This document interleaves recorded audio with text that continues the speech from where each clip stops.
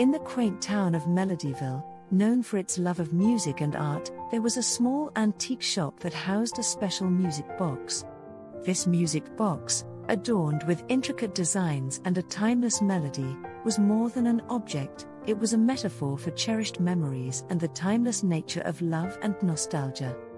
The story centers around an elderly lady, Mrs. Elise, who owned the music box for decades.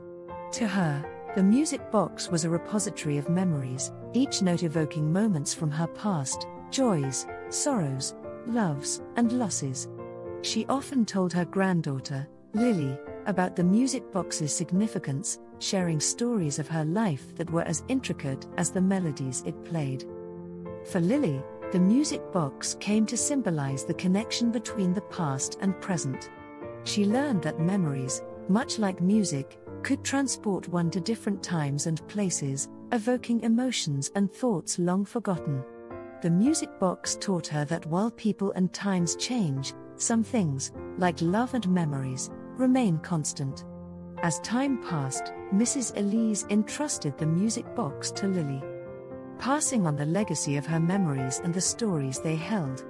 Lily cherished the music box, understanding that it was not just an heirloom, but a tangible connection to her grandmother's life and experiences.